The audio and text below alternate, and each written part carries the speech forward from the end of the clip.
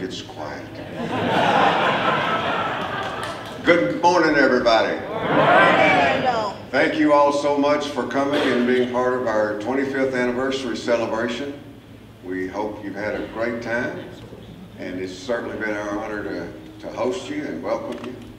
And um, we, uh, I guess, uh, express our thoughts and prayers to the folks that uh, were here and thought they needed to go back to Florida and the coastline of Georgia and South Carolina and North Carolina. I don't know if they've kind of finalized exactly where the hurricane might hit just yet. I hadn't followed that this morning, but there's uh, several folks uh, we know we're going to be impacted somewhere. So let's all kind of remember them in our thoughts and prayers. Um, so we'll go ahead and get started uh, with everything you want to know about the 2020 and Tadge you up. So Tadge Juechter, Chief Engineer Corvette.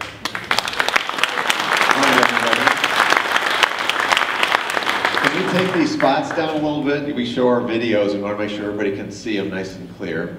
Anyway, um, I can hardly see you guys. Uh, thanks for coming out. This is the smallest crowd we've had this weekend. I'm curious how many of you have been to one of our other presentations? Oh my God. How many of you have been to both of them? You're really expecting us to screw up and show you something you're not supposed to see, aren't you? Anyway, uh, appreciate you hanging in, in with us. Uh, we do try to mix it up a little bit every day, and so uh, we got a little, a few little different things. But I want to make sure you've probably been thinking of other questions. I want to make sure we have time for Q and A because we do have a hard stop at the end of this, and it seems like we run over every single time with all the questions and interests around the car. So let's get started. We'll start with the same video, so some, for some of you this is three times. And can we take these bright lights down a little bit so we can see the screen? All right. There we go. Very nice. Less light, more noise. That's what we want. So the first one, we showed you this, it's a GM Confidential, and that's because the video was created a long time ago for internal use um, showed it around a bunch of internal audiences, and we wanted to give some excitement around the car that was coming. It was still years away when we put this together, but we wanted people to be able to appreciate a little bit of our history and where we were taking Corvette into the future. That's why it says GM Confidential.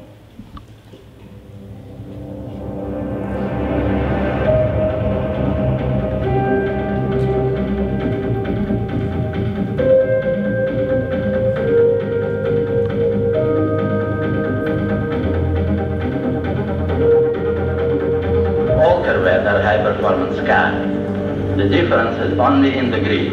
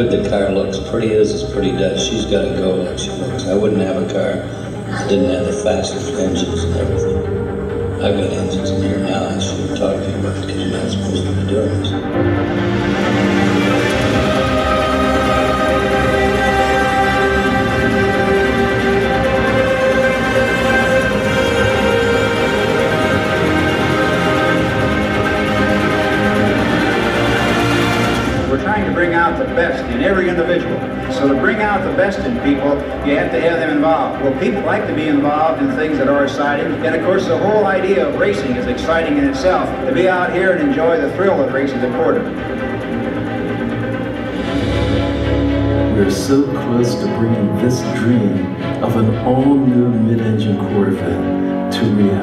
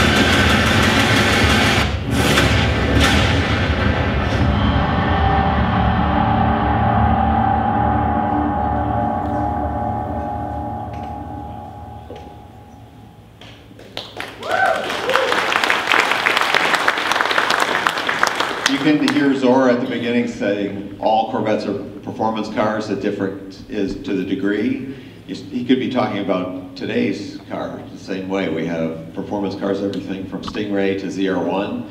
Um, Zora deserves all the credit uh, that he gets. Uh, we're making him super famous now.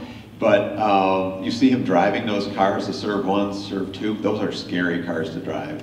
You can see they have no, you know, barely even a windshield, never mind any roll protection, anything.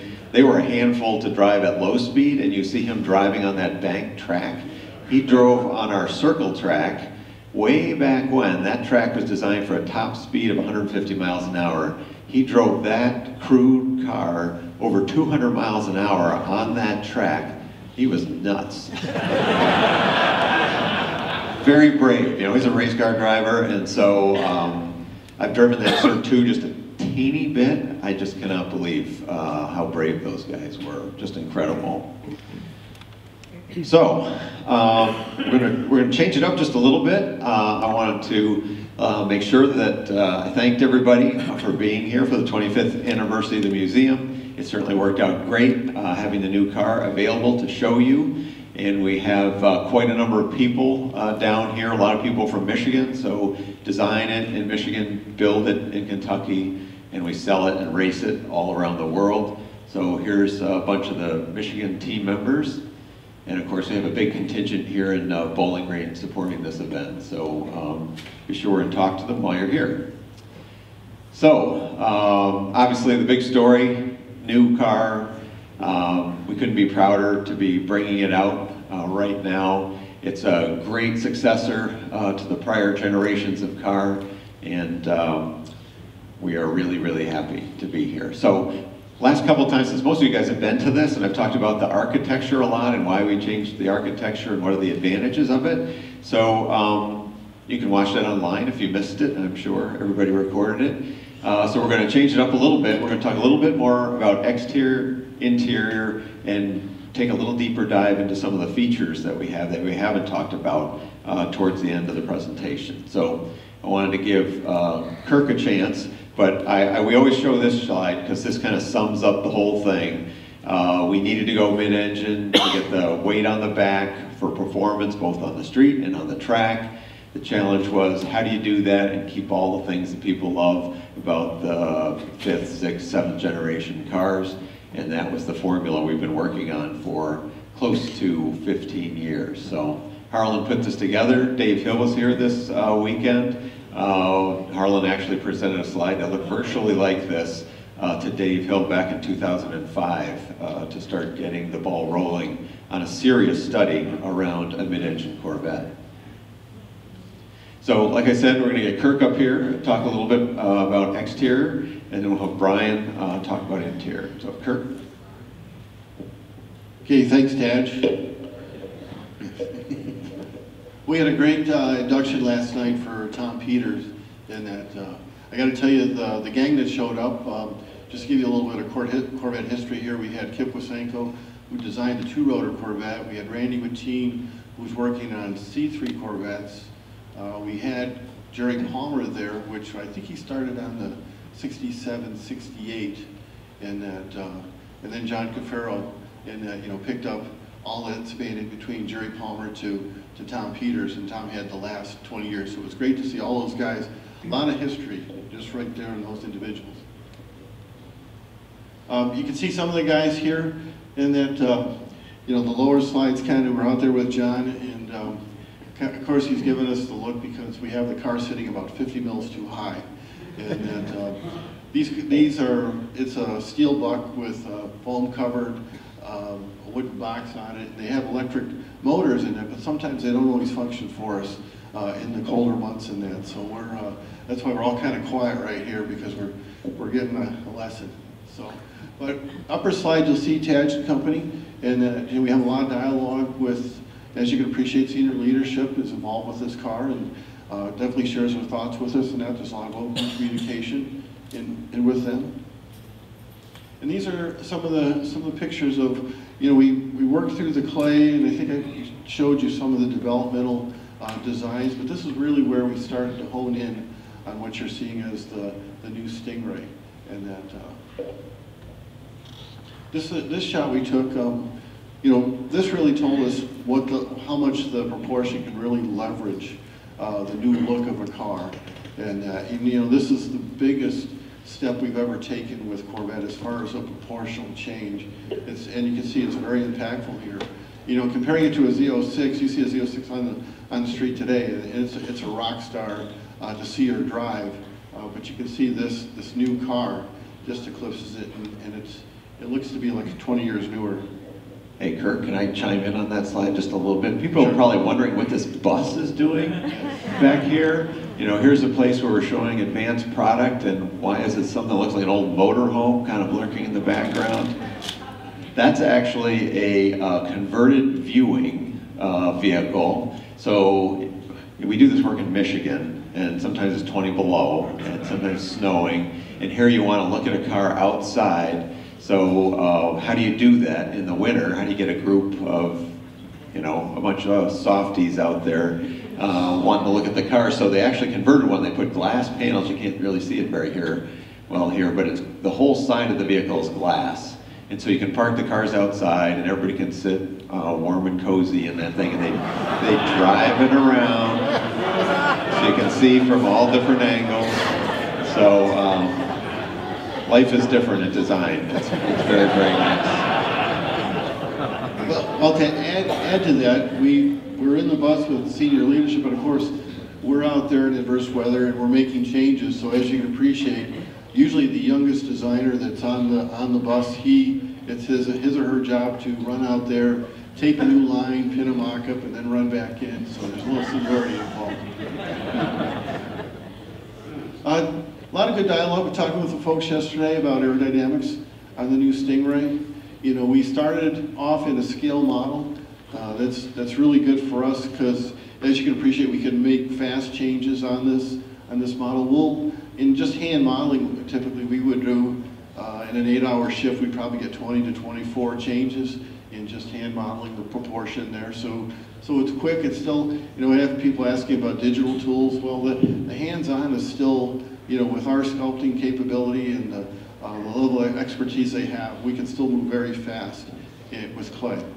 Now, And, and Kirk, I just wanted to add that that, sca- that scale model, that forty percent is here at the museum. We just brought it here for you guys to see. Thanks, Harlan. Um, when we aren't in scale, we're doing CFD, computational flow dynamics. These, this is basically computer simulations, and that we're able to uh, pick the strands. You see those colored lines up there? Well, as you know, the computer will run, you know, probably a thousand lines over the car, but we're more interested in certain areas uh, for study. So that's why you'll see like this is this one's highlighted. Uh, we spend a lot of time in that front corner. It has to gather up air, but it also has to keep the air attached to go down the body side, and then and then you know it's got to get diverted into the rear compartment and that. So a lot of time spent tuning that. I would say probably if no less than 35 changes on that front corner, and to get it to do all that. And then we'll come back with CFD, and we like doing using the pressure maps that you see here. Uh, you'll notice that uh, heard Ted talk about the base of windshield, how with it being further forward, or actually picking up downforce in the base of windshield. And then also uh, the Z51 rear spoiler. You can see there in the red area how much how much downforce we're getting. And as I was telling people, the the rear spoiler is really a hybrid. It's uh, it's spoiler in the middle, but it's wing in the outer corners. And what that gives us is using the wing section. It still gives you downforce, but it gives you lower drag. So it's it's it's part of that tuning of the car. And uh, you know, our, our Alex McDonald and those guys will tell you that this car this part's very impactful uh, to its track performance. Then the follow-up to that CFD is what you see right now on the right-hand slide there. That's actually a full-size clay that we're doing rolling road testing. And when doing, you know, the benefit here is that there's stuff that we're doing to the underbody as well. So it's a big tuning tool, but this is really what helps us evaluate the total downforce of the car. The last step would be to, when we get to the track and we have, you know, pre-production vehicles, uh, you know, that was, that's kind of our last tuning knob. This, this is where you can see the CFD, like I said, we, we can select the strands, uh, we can identify the areas of learning. Uh, the left-hand side there is our brake cooling, You can see it comes in just uh, either side of the license plate. Um, You know, for, the neat thing about this car is for, for any tracking, you don't have to take the plate off the center because we're not taking any air off the center line of car. So it's all, it's all done on either side. And then the next one to the right, here again, talking about the rear spoiler, you can see the air goes underneath is all over the top. Uh, the front cooler, you know, it's going through uh, a heat exchanger plus a condenser, then it has to get out, out of the wheel opening uh, to get, to get a, a certain amount of extraction. And then the lower right slide, you can see the body side, there's no accident that that air is falling right into that side scoop. And that uh, you can appreciate, we did a lot of iterations with that scoop, up and down, fore and aft, uh, but that became the most optimal position. And now I'm going to kick it over. I think uh, this is a, you know, we like to, when we get to the end of the program, we, we have a lot of fun with uh, dropping the car into certain backgrounds and that, but this, this gives you a feel of the overall design and, you know, some of the inspiration. And that we do look at, uh, you know, military aircraft for, for surfacing and, you know, there's, there's things that they do with aerodynamics that even though we're two different vehicles, we, we still enjoy that aspirational value. Can I chime in on that last slide, Kirk, and then I'll introduce Brian. So one of the questions that I've gotten a lot uh, since we introduced this car, uh, and it's so related to design and what Kirk does, uh, people are looking at the shape of this inlet, and I had engineers um, write me and say, boy, design didn't do you any favors with that sloped opening. Not, not very efficient. Too bad you had to do that. So anyway, I guess these guys got it wrong too. if you look at the, the angle that that one's at. Um, but there's a ton of functionality uh, around this. And we, we could have done just a squared off opening, and they're saying, well, why do you have to go way up into the door like this? And there's a lot going on. So um, you have to have an opening. It has, you think about driving in the rain. So you might not think about that, but you're driving in the rain, and the engine is actually breathing through the top part of this. Mm. And so there's a vacuum, the engine is sucking in air. And so imagine if we'd laid it back this way, when it's raining, the, the water's coming in and the engine's just breathing that in. So having the shape leaning forward like that creates an umbrella, almost like an awning over that. So the water running down the side of the car actually sheds off. So having it leaning this way is very important for getting that water out of the way of the breathing engine. Another thing we have to think about is stone throw. So sticky front tires, they toss, you know, they pick stuff up off the road, they throw it up in the air, it bounces around all over the place. You don't want a blunt forward-facing element right there. Some of you guys know this from the brake cooling duct that we have in today's car. That can get hammered by little pebbles and grit and stuff over time. So having this facing down makes it a glancing blow for any stones coming. And there's actually a little rocker extension here. People probably think, oh, that's just for cool design. It's a little bit of an aero rocker extension, but the biggest thing it does is keep stones under the car. They keep stones from bouncing up and getting into this area.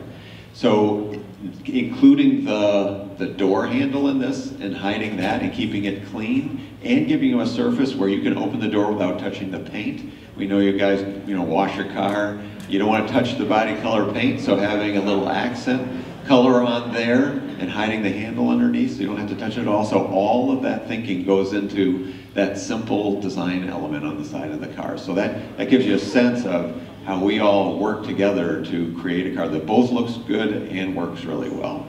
Same is true on interior, so I'm going to have Brian come up and talk about that. All right, good morning, everybody. Uh, my name is Brian Steckel. I'm one of the uh, one of the four members on the interior design team for the 2020 Stingray. Um, I talked a little bit more in depth yesterday, so I'm going to try and uh, be a little bit more brief so we have more time for features uh, with Harlan at the end. But um, so this is kind of a, just it gives you an idea of, of where we started. Um, we start every process with sketching, um, both pen and paper and uh, going in digitally. Um, and these are some of the very first sketches from Tristan Murphy, our lead interior designer, um, showing the direction that the car took. You can see the early evolution of the cockpit shapes, you know, forming around on the on the dashboard and on the door, and how that kind of really envelops you as a driver and creates this really special driver cockpit space. That's one of the things we really wanted to make sure that we delivered for this car was a very exotic, special driving experience. And taking what you're familiar with as a Corvette, it needs to be recognizable as a Corvette, but really elevating it and uh, to the next generation. And then you can see here um, how that kind of, you know, the, the driver cockpit is, is being evolved even further, a little bit closer to uh, kind of what you'd see on today and then like a 2LT trim. a couple other things you can see on this slide um, beginning to evolve are the, the square steering wheel. Um, that was really important for us. We have a, a, brand new in this car, we have a 12 inch multifunction digital gauge cluster, and then as well as the 8 inch uh, Chevy MyLink display to the right. The square steering wheel was really key to allowing us to, or allowing the driver to be able to see every inch of that, the uh, driver information center. And then also uh, with the top being a little bit lower, you get a much better view of the road, get to see the HUD, get your down vision a little bit better so you can see exactly where the front of the car is, you'd be able to place it in the right spot every time. And then the bottom of the steering wheel coming up helps you get in and out much easier, less banging your knees on the wheel, stuff like that. And then the other thing we do once we kind of um, pick some sketches that we like and we start moving in a direction is we work with a clay modeling team. We have a team of super talented clay sculptors, just like the exterior does, and we use clay because we can move it very fast. We can make a lot of changes on the fly. We can uh, you know, model something up, put the, push the seats up against the model, sit in it, see how it feels, make sure that all the kind of assumptions that we're working with in sketches and in math uh, actually feel right. We can, you know, we work very hard about component placement, making sure, you know, we have the our ride mode knob here, the transmission controls, make sure, make sure the screen is falling easily to hand. Um, we really just focused on making sure everything about this driver cockpit space just feels perfect. And then here you can see some shots of the team actually working in the studio. So we have a couple of these big, long 20-foot pull-down boards, so where we can put uh, we put up sketches. You can see this is actually one of the sketches that we published. You can see this one on the internet, and then you can see the, um, the design team actually sitting in the clay model like I was just talking about here, checking out how some of the things feel. You know, I'm, I'm checking out the the feeling of the pull grip on the door, making sure that feels like a really nice handshake that the car gives you every time you get in and out. And here you can see Ryan, who's he's also he's the uh, design director for the program. He also worked on your C7 if you've got one of those.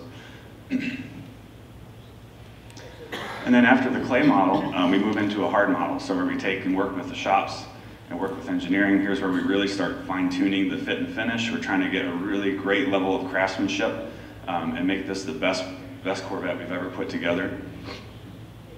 And so this is a this was a part of the, a, a fully wrapped foam model that we made for the um, leadership within both GM Design and the company.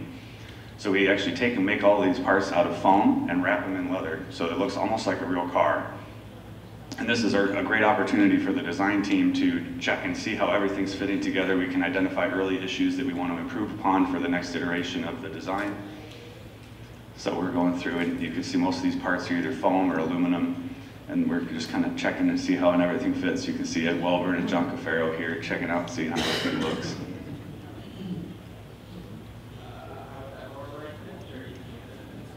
What's that? Lower right? yeah, this is kind of a candid shot. We're all talking about something, you know, I'm not sure what, but this is, what's that? Uh, uh, I'm not sure. It was a couple years ago now, so. What's that? Yeah, we're, we're to go to lunch probably, Harlan says.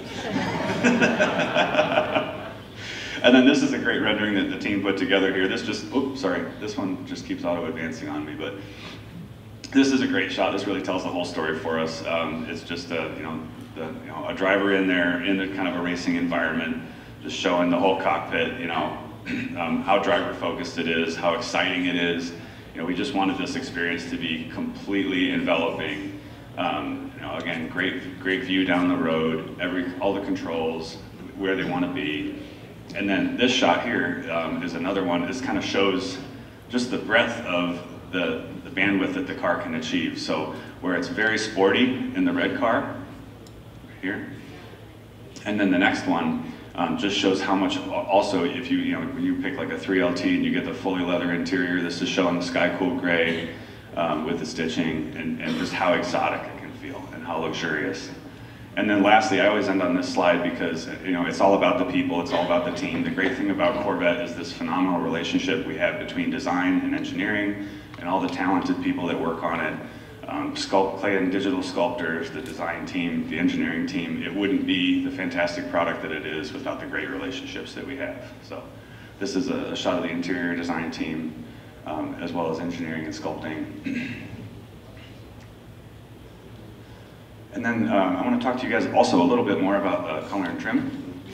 So one of the things that we wanted to do with the 2020 um, is build upon what we had already started with C7, um, with, with, with, the, uh, the Grand Sport, with the, uh, the Rapid Blue, excuse me, and get and bring, the, bring to the 2020 a lot more color and trim options and a lot more material options so you can really customize the car any way you like. Um, if you select a 3LT package, you have up to 13 different interiors you can choose from, including the two-tone blue that's shown here. I think these will auto-advance through a couple different ones. There we go. So you can see the Sky Cool Gray stitch package. There's a Sky Cool Gray interior. This is a 3LT, so you can see that the cockpit shapes go Sky Cool Gray. And you get the black stitches. Thought these auto advance, but maybe they don't. There's your adrenaline red. There's a natural. So a lot of people have been asking us about, you know, what's the difference between natural and a natural dip? Here it is. So when you have a natural interior, you have the cockpit shapes in the natural color, and then the rest of the dashboard and console and doors are jet black. And then if you're going natural dip, what we mean with that is every leather surface, is going to go that, with that natural color. So you see the rest of the door, the rest of the console, and the dashboard are all going to be in that natural color. So this is a very nice, very expensive looking option. Um, it looks like a million bucks, and it's, it's, unbelievable that we can sell it for the price we sell it for. um, this is showing the Morello, Morello dip option. On the Morello, you get the um, adrenaline red stitch, and that also looks really nice. Then we have the, the two-tone blue, as I talked about a minute ago. Uh, this is the jet black with the yellow stitch package. Also looks really, really great. And then jet black with the red stitch package. And then you can see the torch red accents on the steering wheel. Um, you can also get the seat belts in up to six different colors. And I believe you can mix and match any color you want. So if you want to have a jet, uh, an, a torch red car with adrenaline red stitching and yellow belts, you can do that. I don't know why, but you can do it. And then we've also got a lot of different seat options. So one of the things that we heard from our customers um, talking about who bought the C7 is a lot of people would buy the competition seat because they wanted the carbon fiber in the seat back. They wanted to be able to say they checked every box, but then they were finding out that that, that seat was a little bit too aggressive for them. It was a little bit less comfortable than they wanted to on long trips. Um, so we created the GT2 seat to be a really nice blend that has the comfort of the, of the base seat, but also has the carbon fiber and uh, gloss black accents of the competition seat. And of course now, so we, now we have the, the base seat, you have your GT2 seat, which is optional on 2LT and standard on 3LT. Gets you really nice Nappa leather. It's, you can also order suede inserts if you want. And then of course we still do have the competition seat, which is even grippier than today. We have the performance textile fabric to really hold you in place on the bolsters and on the seat, uh, seat cushion. so depending on which trim level seat, you can order the competition in all three trim levels, and then uh, the GT1 is standard on a 1LT and 2LT, and on 2LT you can option the GT2 or competition. And then also for exterior color, uh, we have what, 12 different options. Yeah. a couple new colors for, uh, for this year. Um, we're adding Accelerate Yellow, Rapid Blue, and Zeus bronze. A lot of people have been asking us about Accelerate Yellow. You'll, hopefully you'll be able to see a couple of those soon. And I'm going to hand it back to Harlan. He's going to talk a bit, little bit more. So let me jump in here. I talked about uh, this, the side cove uh, on exterior. I'll give you an example of something we do that's kind of unique on the interior. I don't know if we can go back to uh, one of the overall interior shots, but this is a good one. If you look at these switches right here, you see three switches. That's the traction off button, that's the front cameras, and the front lift if you get it. So on most manufacturers, and uh, I don't want to name one, but they're known for charging exorbitant prices for every little thing, and their car looks like a potato, as Harlan says. if you don't, if you buy one of those cars and you don't put a lot of options on it, what you get is big rows of blank switches. It, it says cheapskate, cheapskate, cheapskate all the way down for everything you didn't order, and it's thousands of dollars to fill in each one of those little buttons. Even on a fully loaded car, there's still blank switches. Yeah, and, and the media gets into these cars and they're always driving loaded cars, so they're saying, oh, the interior's nice. If you get a car that doesn't have everything, it looks really cheap. It looks like a, a, a fleet car or a rental car with all these blank spaces. Well, here's an example of where some cars, a 1LT, only has traction control off. You go to 2LT, and then you get the front cameras. If you check the front lift system, which we'll talk about later, the button goes there. But working with design, what we do is when you get the standard car, you get one button here. So we tool up a unique button that fills that whole space, so no blanks. So we did three different versions, one with one switch, one with two switches, and one with three switches. So it always looks like a complete car. Whether you pay $60,000 or $80,000, it still looks like a really nice, well filled out car. So thanks for working with interior guys on trying to make that and make it affordable, because uh, that's a, a, nice trick to do too. So um, something special we do for you guys. Harlan? Thanks.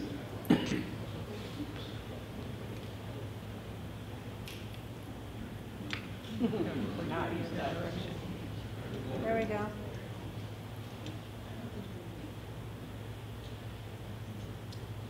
Yeah, I just wanted to uh, talk to you guys about a minute about the, uh, the different trim levels. We didn't really go over this in any of the other presentations. And you hear a lot of us talking about, like Tadge just talked about, 1LT, 2LT, and 3LT. So how many people uh, sat in the uh, black car outside? So that's a 1LT car.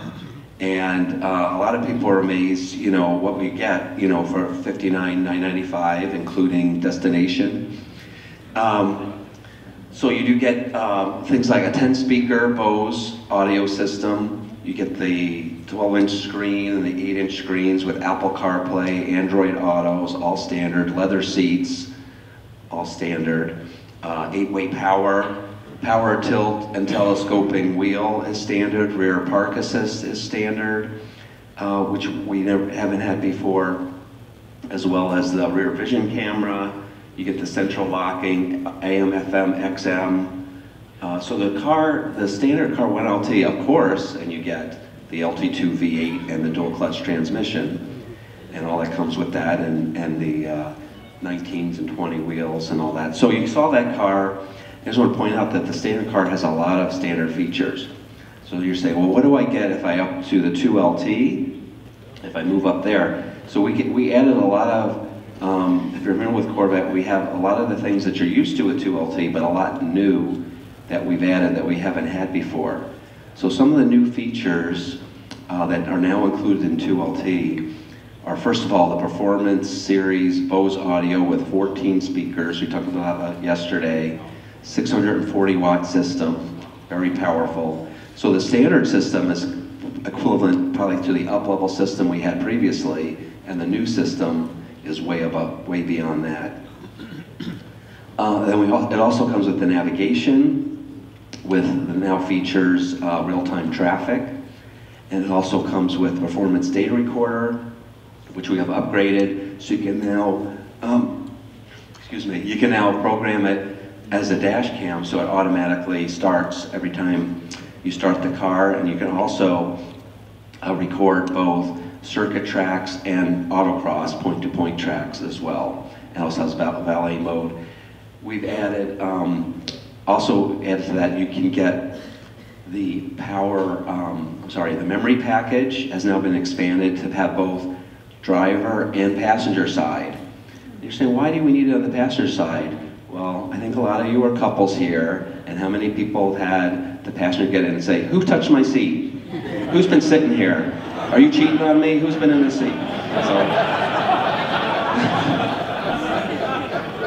So you say, push the button, just push the button. You're my number one, push number one. That's you. She's laughing, my wife's here, she's laughing. So, uh, it's a great feature. Also on a road trip, you know, if you switch driver and passenger, you switch back and forth. You can switch, you know, to your seats back and forth or your different heights or sizes. It really is a nice thing to have. Power fold mirrors, a lot of people are excited about that. It's now part of 2LT, and you can set it, you can either just push the button to power fold them, or you can set it so that every time you lock the car, it'll automatically fold them as well. And then we added a lot of features that you guys have asked for, um, things like blind, side blind zone alert and rear cross traffic as well. So those are, those are new safety alerts that are included with the 2LT. Another new thing that we're all excited about, those of us who've driven the car, we think people are really going to appreciate, is the rear camera mirror. So how this works is your rear uh, view camera, I'm sorry, your rear view mirror, you flip it and it turns into a video camera. So you can see out the rear, no blind spots, it's very high res, and you can also adjust it up and down or zoom it to whatever preference you like. A lot of us like to see a little bit of the rear, and that's what you see on the roof, the roof mounted camera. That's how you tell a 2, a 2LT and up as well. Also, um, we, we still have the front curb view cameras. Uh, again, good for seeing the, uh, the front of the car, but the difference is, Cash was talking about it, we added a button. You used to have to go in and find it on the touchscreen. Now it has its own dedicated button, so it's very easy to turn that on uh, when you need it, when you need it as well. Another new feature, wireless phone charging. That's the little pocket that's between the seats. A lot of people were asking about what that's for. Nice place to put your phone. Also, if you have that wireless charging, and most of the new uh, phones are getting that, it's you just put it there and it'll, and it'll um, charge it up for you. Head-up display, we have a new full-color head-up display. is also a big part of 2LT. So there's a lot of features on 2LT. It also opens up the natural color uh, interior and it also opens up the option for the GT2 seat. Now all three trim levels are available with competition sport seats. On the 1LT though, we did something a little different. We figured this is like, somebody gets a 1LT in competition, that's like the track car. You guys are hardcore, I don't want any of these options, I want to have it. So we, we, we did a performance textile version of the competition seat. On the others, um, 2LT and up, you get the lumbar adjust, you get the wing adjust, you get heated and ventilated on all the seats. So 2LT you can actually get all three, is the one that you can get all three options, GT1, GT2, and competition. So the 3LT is our ultimate, that's our ultimate Corvette uh, interior. It, it comes standard with the GT2, so it upgrades you there, and it has a full leather wrapped interior. Both the instrument panel and the doors, upper and lower, which is new this time, the whole thing is wrapped in leather, and it's all uh, Napa, Napa leather.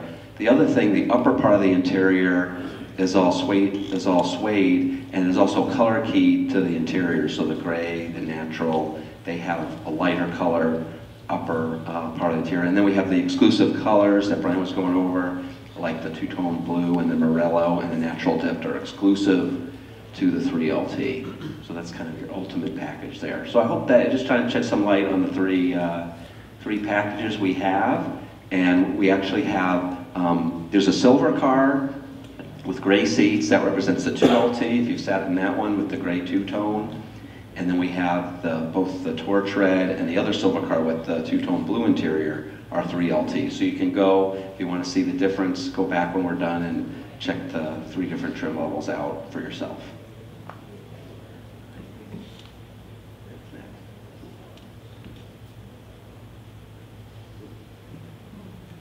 That's architecture. Thanks, Harlan. Harlan has been such a trooper over the last week. Uh, you guys know we've been on the road uh, last week and a half with Carlisle last weekend. Harlan probably talked to every single one of the 60,000 people uh, that came there and another 8,000 or so, I think, uh, here this weekend. So uh, he hasn't been feeling all that well, but he's powering through. It's a once in a lifetime opportunity to get out and talk about this car. So thank you, Harlan. So um, Somebody want to clap for him?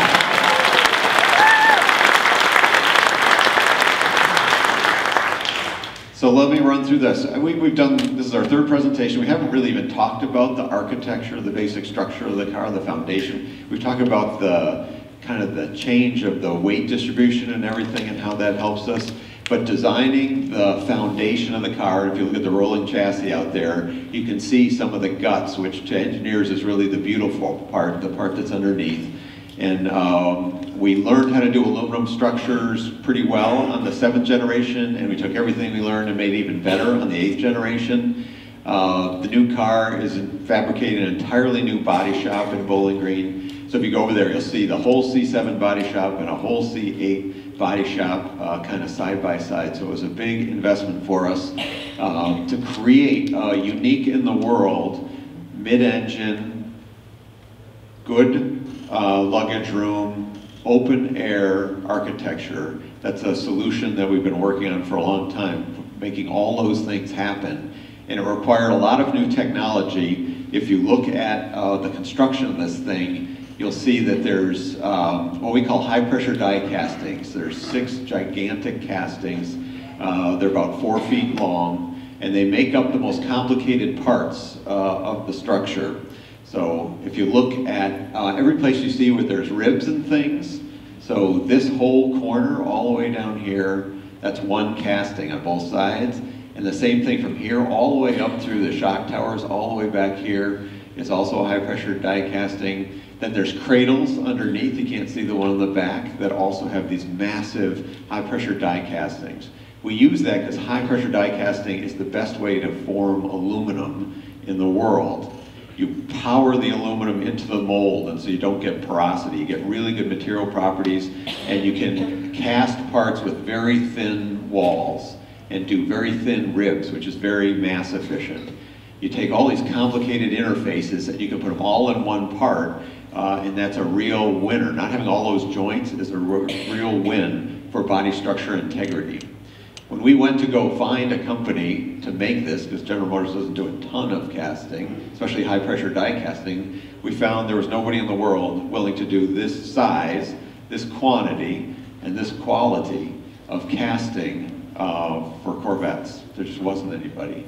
And so we had to do it ourselves. We had to go back to General Motors leadership and say, we got to learn how to do this. And so we actually went back and appropriated, did a business case for it, went back and appropriated money, and built out our Bedford, Indiana plant, put in a new assembly area. Uh, it's a plant where they cast blocks and heads. It's not the exact same kind of process, but at least they're somewhat familiar with casting. So we actually brought this, we insourced this, uh, so that we could build the volume we wanted of this kind of technology. And it's a huge enabler to make this whole body structure work. So it's amazing we've gotten this far and we really haven't talked about the engine very much. I'm amazed that uh, we got away with it. Um, so, uh, you know, everybody knows the, the headlines, 495 horsepower, 470 foot-pounds of torque, 0 to 60 under 3 seconds, top speed 194 miles an hour. So um, I, I, said it at the reveal uh, at a time when the whole rest of the world is going to small displacement, charged engines, um, we're bucking the trend and staying with the, the small black small block V8. It's a huge competitive advantage for us. It's a very compact engine. It's very light for the power it puts out. Having that engine compactness helped us with the body structure because we could make load pass around the engine um, and having it small made those very, very efficient. So um, the architecture of, in return, helped out the engine. So um, putting the engine in the back makes the breathing uh, a lot more effective. So when the engine's in the front, it, the throttle's on the front and it has to breathe cool air and you have this big radiator forward of it that goes right up to the hood and so that's why you see these uh, snorkel arrangements we've had that either get really thin and wide, reach over the top of the radiator, or on C7, you take a turn and you go out to the behind the headlamp and it's a very compressed space up there, and so it's very difficult to get low restriction intake systems. The same thing on the exhaust, when the engine is in the front, you take the exhaust out the manifolds and it has to get down to the center tunnel, and there's a pinch point because we got the engine shoved rearward as far as we can, right up against the front of dash, and then trying to snake exhaust through where your pedal box is, the throttle and everything, and you got to get into the tunnel. There's a pinch point there between the block and the body structure and where the passengers need to be, and you actually have to compress the exhaust. You dent the pipes, and it's a very restrictive uh, area in the car. When you put the engine in the back, if you've seen the engine out there, we've got these like really cool header, short headers that come out over the top and they can go down under the luggage compartment. There's no pinch point. And so both on the intake side and the exhaust side, we have very low restriction on this. So we're able to take advantage of that with the cam timing uh, to get a very free breathing engine that pulls very hard all the way to red line uh, puts the power peak up at 495 uh, horsepower. So that's a way that the car's architecture helps the engine guys perform better. So uh, we also have a DCT. Don't remember, do I have on the DCT? No. Okay, but um, I do want to talk about this. We haven't talked about this much. You'll see some of the cars out there. Uh, you know, we go to Corvette shows uh, all over, and we know how much people like to customize their car. A lot of the hoods are up at, at shows and people have done things to make their engine and their engine compartment more beautiful. And so we said, well, why not do that from the factory? And so um, we've got these very large uh, vented uh, carbon panels to close out either side uh, of the engine compartment. And then we mounted, uh, so this is additional lighting. So when you open the hatch, the lights in the luggage uh, light up. But when you get this option, you get the carbon panels plus additional lights uh, that are mounted to the underside of the hatch. So when you open up the whole engine bay is all lit up, uh, bathed in light. And then as you approach the car and you turn, you know, you lock it or unlock it and all the courtesy lights come on, it lights up too. And so you, as you approach your car, you can actually see the engine uh, kind of glowing in there. It's a really cool option. Um, it, it, hasn't got a ton of airplay, but you can uh, go out and check it out on some of the cars uh, out here. So uh, Z51, uh, we've had Z51 for decades and decades. Um, we have it, it's a little bit different this time, uh, but it is essentially, you know, if you're going to track your car, it's a must-have option. Um, Harlan didn't mention it, when he was going through all the standard equipment, one of the things we did was make dry sump standard. And uh, you know, we've been working on dry sump for a long time. Making it standard let us mount the engine lower in the chassis. It's about an inch lower than on today's car. And so even if you get the standard car, you get the advantage of the dry sump. You get that uh, nice low engine, lower center of gravity. And because we made it standard, all engines have the dry sump, so we didn't have to do a version with and without. And so we're able to integrate the content for the dry sump into the base engine. So instead of one scavenge pump, we have three. So a traditional one coming out of the sump under the engine, but we also have two in the heads. And you might think, well, why do I need to pump oil out of the heads? It's just gonna run back down into the sump anyway. But on a 90 degree V8, each of the banks of cylinders is sitting at an angle of 45 degrees to the ground.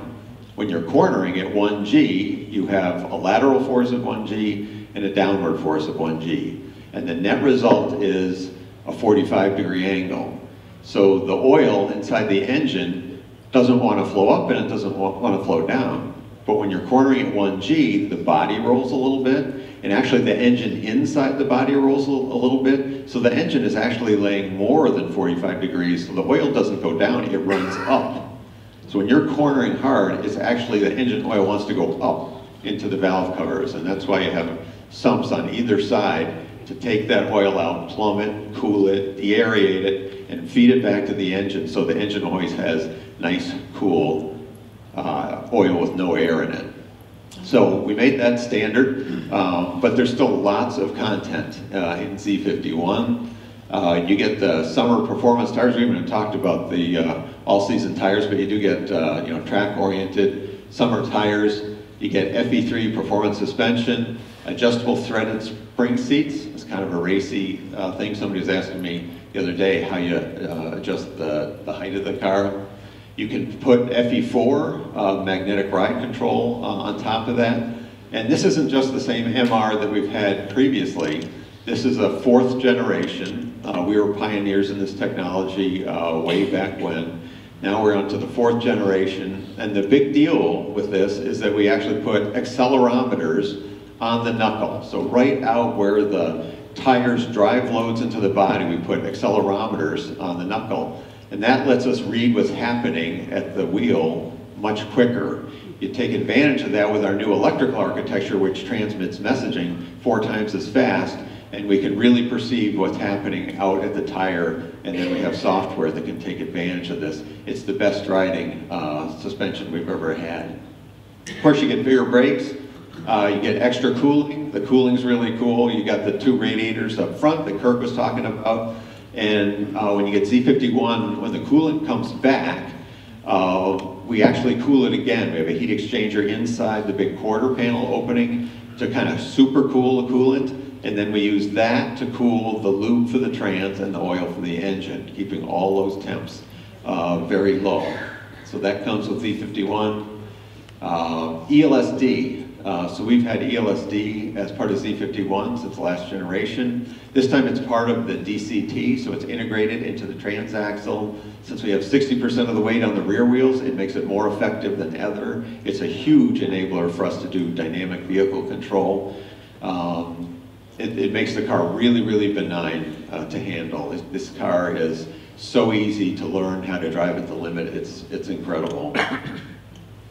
So Kirk talked a little bit about the, the Aero, 400 pounds of downforce at 180 miles an hour. The car actually goes faster than that, so there actually would be a little more downforce at top speed. But again, uh, this is the first time we've had a Stingray with real full vehicle downforce.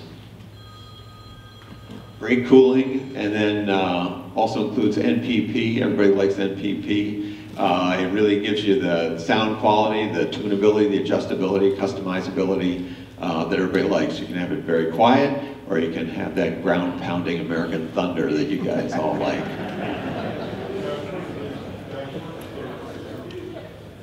Third radiator is in the quarter duct. So you see those big ducks in the back. The third one is actually, we have powered fans on both sides, but you get a radiator in addition to that on Z51. And here's a picture showing the, some of those cooling paths. You can see the cool air going in. You can see the radiator. I think Kirk uh, covered most of this. Uh, but that blue air going in, that uh, goes into that heat exchanger. So this is a little complicated, but uh, I want to talk about this a little bit. It's really, uh, I was talking about how low restriction the intake is. So um, the air going through the top of the opening, so you can kind of see it up here. This is a view kind of low looking. We've got the skin peeled off. Here's the rear brakes. You can see there's a flow path here. That's actually the air going into the engine. So if you look at it as you're looking at from the top, here's those same blue lines. They come into the top part of that quarter opening and they actually flow through passages we created out of the body panels that need to be there anyway, the structural body panels. So there's no separate duct. Uh, it's just the, the panels that go out and support the quarter panel uh, creates a very large opening. You can stick your arm right through it. it. It's so large.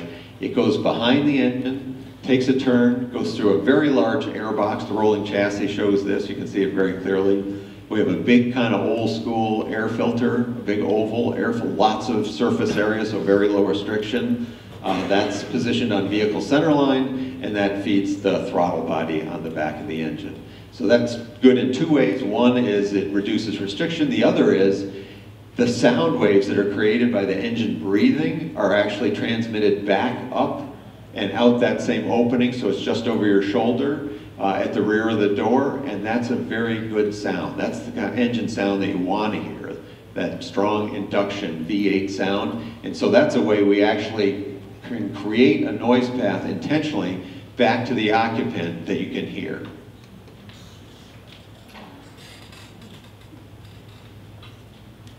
Uh, steering. So we've talked a lot about steering. Part of the architecture is uh, the driving experience, less weight on the front wheels, car turns in really quickly, and we didn't talk about the fundamentals, but just sitting this much closer to the front axle shortens the steering. I mean, it, it almost looks like a ridiculous proportion, but this is the real math of today's car, where you sit and how long the steering column is, intermediate shaft. By the time you get to the rack, you're one 1600 uh, millimeters away, 1.6 meters. You can see we've shortened it substantially, much more direct uh, connection to the to the steering gear. So that gives you the a very stiff system, and a stiff system means that the second you move the wheel at all, you get a reaction at the front tires and the vehicle starts to move. We also have the tightest turn circle, uh, which we've ever had, because we have an even longer wheelbase than today, even wider track than today, yet the turn circle is tighter, especially if you get MR. And the reason why is that we have uh, a new invention. We use the position sensors that come with MR that tell you where the wheel is in the position relative to the body, and we have a dynamic rack stop. So typically on a rack and pinion, uh, steering, you have a mechanical stop at the end. But on this car, when you get to the end of travel, all it is is doing is back driving the motor electronically. It feels like a stop, it feels like a hard stop, but all it is is the rack not letting you turn it anymore. And that way we can adjust that stop based on conditions. So typically in vehicle design, you have to design that mechanical stop for the worst case condition, which is typically when you turn the wheel at full lock and you drive in a steep driveway ramp and you're trying to pick the car up by that inside front tire, so you push the wheel all the way up towards the body and just to make sure that that tire's not going to touch anything and you have to restrict the travel based on that. But anytime the wheel's any other place, you could actually turn farther and it would be okay. So what we're doing is using that position sensor to look at where the wheel is, and in most cases, we're just doing a parking lot maneuver, you can actually let this, the car turn more sharply. And so a, a 36 foot turn circle curb to curb for a vehicle of this size and proportion is uh, kind of unique in the world.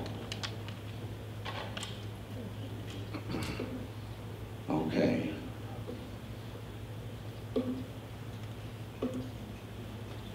So the front lift system, this is the one thing, when we did the reveal, it's this giant space, and it was really hard to hear what the audience reaction was from up on stage, because there was just this giant space. Everybody was so far away and all the sound got lost. But the one thing I did hear is all the hoorays and the applause when we said we were going to do this front lift system. So, you know, Corvettes historically, uh, they're very low cars, low center of gravity. They need uh, very low aerodynamic panels, and so it doesn't take much of a speed bump or ramp. You can hear the air dam scraping on the bottom or rub the chin of the, the car. So uh, we've long wanted to do this, and actually, um, I'm a big defender of the transverse composite springs we've been using for years, and I know the media celebrate celebrating getting rid of the leaf springs. They're not leaf springs. In fact, if we could have done transverse composite springs on this car, we would have. We couldn't because the drive line is mounted so low, there's no cross-car path to put it. So we're essentially forced to go to coilover shocks. But the good news is that let us put a relatively simple hydraulic lift under the, the front spring on the nose of the car that let us power that thing up about two inches. So that's another button that you hit right on the center console. And every time you hit that button, well, the first time you hit it at a, at a certain location, a screen will pop up in the DIC saying, do you want to remember this? You just hit the button on the steering wheel and it remembers it forever. So every time you approach that obstacle, it'll automatically lift. So, you know, we announced you can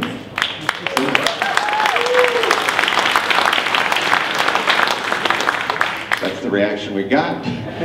So, um, you know, remembers a thousand points and you can delete them anytime if you know you're not going to be back. And then um, it's also cool, um, it works up to 24 miles an hour. And if you're coming in fast to an obstacle that you've previously remembered, it'll lift it, it'll start sooner. It'll say, oh, I'm approaching this GPS location, guy's not paying attention, he's coming in too fast. The car will say, uh-oh, we better get this nose up in the air. So it's smart enough to know when you're not paying attention.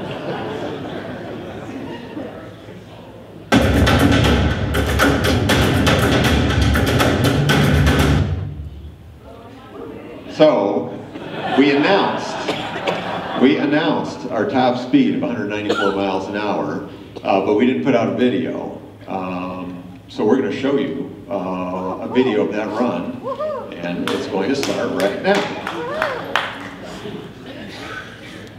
So this is done in Papenburg, Germany. Uh, it's a level track. It's where we've done our top speed runs for many generations of car. And unlike a lot of manufacturers who go out and just run a straight line uh, run, and whatever the top speed they see on their instrumentation is the top speed they post. That's not really the right way to do it. We have always done it the right way, which means you do a flying mile so you have to average the speed for an entire mile and you have to do it in both directions to account for wind. Because typically what you see is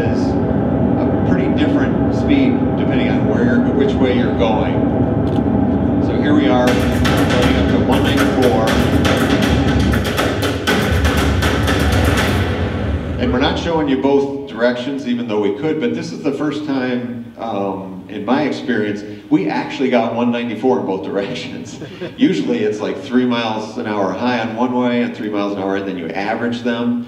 Uh, and the videos we typically show show that for some reason it was like dead calm at Papenburg this year, and so uh, it was exactly the same speed, passing one way and the other. So uh, if you watch the video, it's as usual, a non-event, a couple of board development drivers cruising down the road at 194 miles an hour. It's just, you know, another day at the office. You know, the car's very easy to drive uh, at speed. It feels uh, extremely planted, and uh, that's why the video is so boring. You don't see the guy wrestling around or trying to catch the car or anything. Um, so we're very proud uh, of the stability that we have in the car. That was the standard car. So the standard car is very slick. So that's the one we use for top speed runs. The top speed of Z51 is 184. So we trade off top speed for downforce. You'll see race car top speeds are not very high. It's because they want to keep the car planted on the ground. Six gear is the top speed gear. So I didn't talk about the DCT. We take advantage of the fact that we have 60% of weight on the back to use a very low first gear ratio. So that gets the car off the line and moving. It's largely responsible for 0 to 60 under 3 seconds. Then gears 2 through 6 are your track gears, and 6 goes all the way up to top speed. Then as we've done historically, our top gears are tall overdrive, so 7th and 8th are great for, you know, street driving. So you quickly get up to low RPM, it's quiet, it's low mechanical stress, really good fuel economy. So we've applied that same kind of traditional Corvette philosophy to this blank sheet of paper uh, DCT. So I think we got a few minutes for questions. I'm happy to take any if you have any. Yes, right back here. Sir, on the Z51 screen you had up there at, at B4, you listed it also a B4 or B4Z, traction management. Performance traction management. Oh, PTM. Yeah, is the B4Z part of that B4 or is it separate out? If you get Z51, you get performance traction management. Period. That's like it is today. It's not. Harlan should answer this one. The, um, I'm sorry, the uh, magnetic ride and the performance traction management, which we call that V4, that comes together. So you have to get both together. Sorry. All right. We should. Okay. I'm for it. Okay. I- Other questions? Yeah. Right here. competition secrets and provisions for submarine strap for five months, and there's rear brake cooling. There is rear brake cooling. Um, the, we, we had this question yesterday about uh, track belts. We don't put uh, provisions in that are explicitly designed for track work. Our lawyers simply won't let us do that. We cannot, we don't know what the aftermarket content's gonna be. We can't stand behind what they're gonna do. We can't take that liability. Uh, so we try to do the best we can to give them the best chance of providing uh, really good accommodations for hardcore track work. Uh, but the answer is no, other than the sports seat has a, a notch in it, the way it's designed. If you look at it out there,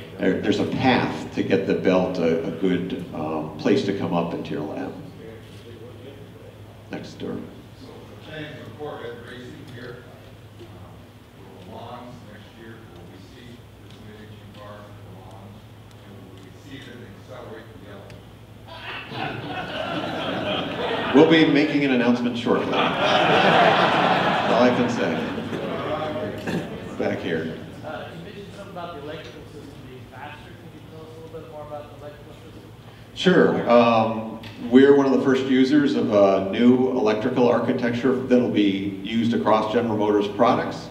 Um, it is quite a bit faster, so speed of messaging uh, much faster. The big part of it is cybersecurity, so every message is encoded. Um, even though there's not been any high-profile hacks uh, of publicly, you know, vehicles, it's going to happen someday. And so uh, the fact that cars are so connected, you know, either through your cell phone or OnStar for us, uh, we have to take precautions to make sure nobody can come in and tamper with your car.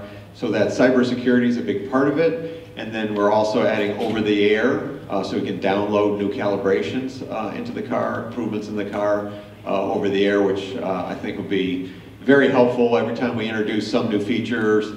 Customers are always saying, well, can I get that in my current car? Usually the answer is no. Uh, with over the air updating, there'll be some stuff that we can actually make backwards compatible and uh, help cars stay updated. We got some, well, we got more questions back here. Noise level, C7 versus C8 inside. So um, that's going to be one of the things that's going to be most surprising to people. Um, when you get in this car, you'll know in 100 yards it's a different kind of car. Um, having the rear tires so much farther rearward, and because sound pressure level, what you hear drops by the square of the distance, um, those big speakers, the big wide rear tires, are quite a bit farther away, so you actually start with less tire noise. Um, and the fact that we wanted to isolate the passenger compartment from the accessory drive, which is only about 12 inches from you, so you've got the drive belt, the tensioners, the generator, the compressor, all of those are sitting right over your shoulder. And a lot of mid-engine cars traditionally kind of sound trashy, kind of crude, kind of race car-like. And we didn't want that experience. So that's why I was talking before about plumbing the intake noise around the side of the car and up towards the door because we have a very well insulated bulkhead between the occupant compartment and the engine to take all that high frequency noise out. So this is far and away the quietest Corvette we've ever done. A lot of that road noise is taken right down. And we, we got that question a lot, both, I think there's a preconception about noise and heat, and everybody said it's both quieter and cooler than the previous car, which a lot of people, especially we don't have the hot exhaust going through the tunnel anymore, and things like that. So um, even when we were doing the, uh, the cars, when we first got in the early cars, we were like, these are way too quiet. We gotta make the exhaust louder. So yeah, we've spent a lot of time taking the noise you don't want to hear and getting rid of that, but amping up the noise that you do want to hear. So that's fundamental to this architecture. Yes, right here. Uh, when you're, uh, stupid driver like you used to a totally circular steering wheel, how is it gonna be to do the ones, because they're more, uh, uh, The corners? geometries, other than the square, you know, yours has got the U shape. How, how does that affect people that would transfer into that? When I get partway through, it's gonna, like, bother my turn. I was totally with you. When we first started talking about even the original flat bottom wheel, I was like, wheels are meant to be round. Why would you ever make a wheel that wasn't round? And so um, actually what we did is when we first started talking about this squircle, they call it, it's kind of a square circle, um, there was a lot of us that were kind of skeptical that that, why do you want all those corners on the steering wheel? And so we actually made, we actually used 3D printing, we printed some steering wheels and put them in a current Corvette and we lived with them as daily drivers to see what it was like. And there's a little bit of adaptation, a little bit of a learning curve, but it's surprising how quick you get used to it. And those corners almost seem like handles. Like in typical turns, you grab a corner and you know exactly where the wheel is. And it's amazing the number of comfortable hand positions there are. If you're a three by and five person or three and nine person, you have a full rim to grab on. If you're more a 10 and 2 person, you have a full rim to grab on with no nothing in your way, so you're not grabbing in a transition where the shape is transitioning. So I was a big skeptic early on, and uh, I became convinced that not only was it just fine, it's going to be great. And, and I would say the car um, in normal driving, the steering is so quick, you can keep your hands at nine and three on anything but an extremely sharp turn, just driving the car around. You know, you can do your F1 imitation. It's really actually a lot of fun. Yes, back there. Yes, uh, the bent and cracked wheels, have you considered this in the C8? I mean, has there been some thought, because as a daily driver, this is a concern with me. Yes, so you're talking about, the question was for people listening outside, so have we tried to do something to improve the robustness of the wheels, the road wheels? You're talking about steering wheels, now we're talking about road wheels. And the answer is yes, even though we've historically designed wheels the same way to the same loads, we have seen an increase uh, in the number of people bringing their cars in with a bent or a cracked wheel. And so yes, we increased the, the load, we came up with new testing actually. Uh, and if you look at the inside rim, uh, there's actually a little more meat, so it's directionally incorrect for mass, unsprung weight, but it does make the wheel tougher and more robust. Yes, right here. Question is, have we run the car in the Nürburgring? Yes, we have several times. We do development testing there on all our programs. Um, everybody's interested in the fast lap. That's the last thing we do. It's never been something we've prioritized.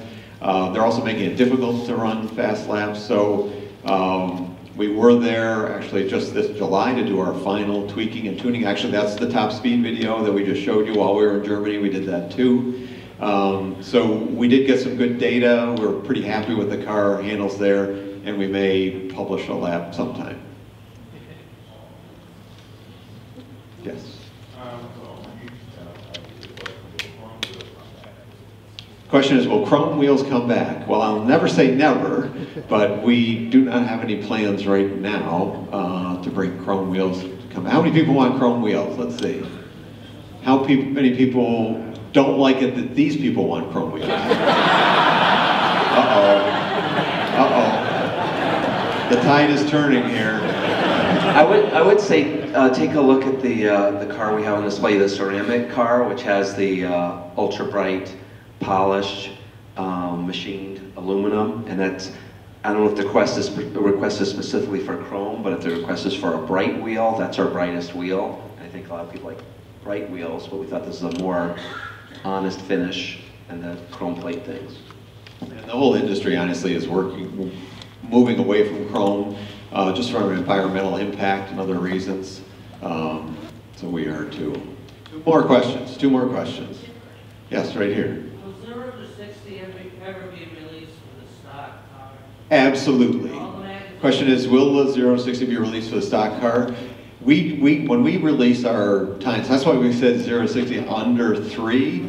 We want to test a bunch of different production spec cars before we make a claim. Uh, but we're doing both FE3 and FE1, and we'll we'll publish those numbers probably in the not too distant future. I think the thing people are going to be most surprised about is how close they are. People are going to think, oh, they're bragging about Z51, that's the fast one, the other one's going to be a lot slower. You'd be surprised how close they are. And last question, all the way back in the corner. Yes, uh, do you have, does this, the Ackerman effect uh, better with this car than with the C7 or? Uh... So he's talking about Ackerman correction angle, so that's uh, chassis calibration. Most of you know it as the chatter that you get when you're, especially at lower temperatures when the tires have stick slip properties that are very sensitive to that, uh, especially on Z51 and some of our up-level models. Uh, you feel that um, kind of chatter, the tires stick and slip as you go around a tight corner. That is gone.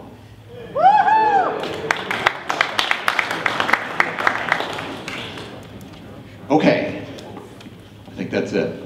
I'm sorry we have to cut it off. Thank you very much for coming. And enjoy the rest of your time here.